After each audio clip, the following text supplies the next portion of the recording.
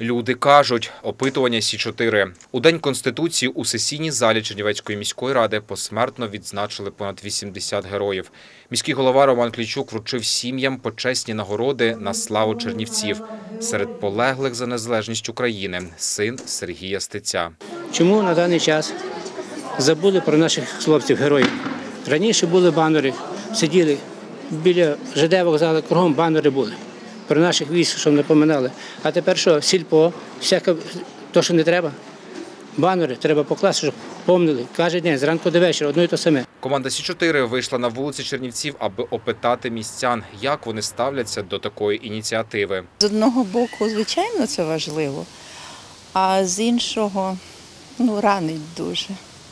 Дуже ранить, тому що ти думаєш про це.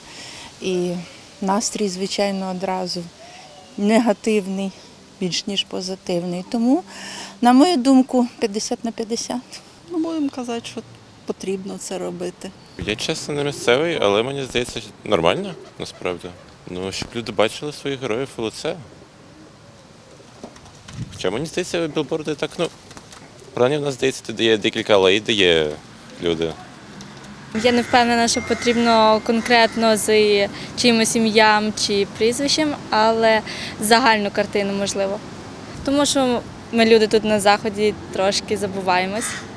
Можливо, якісь більш загальні вислови про війну, військових, але не конкретно. Ось так.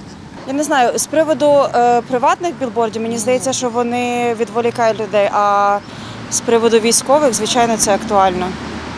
І це ще раз нагадує, в яких часах ми живемо, куди йдемо, чого прагнемо. Ну, я вважаю, це дуже потрібно на кожному.